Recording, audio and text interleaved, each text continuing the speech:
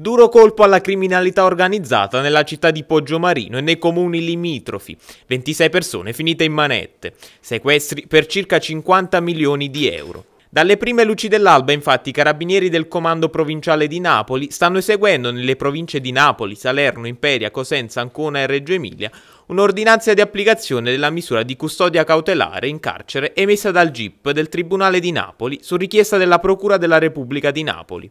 L'ordinanza nei confronti dei 26 soggetti gravemente indiziati a vario titolo di aver fatto parte di due distinte organizzazioni criminali operanti su Poggio Marino e nei comuni napoletani limitrofi in lotta tra loro per l'egemonia sul territorio.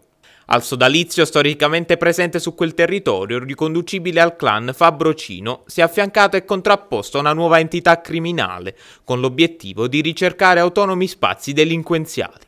In tale contesto sono state documentate attività connesse con numerose estorsioni ed intimidazioni con esplosione di colpi d'arma da fuoco e un importante traffico di sostanze stupefacenti, accertando canali di approvvigionamento anche con lendrine calabresi. Contestualmente è in atto un sequestro preventivo di beni e rapporti finanziari per un valore complessivo stimato in circa 50 milioni di euro.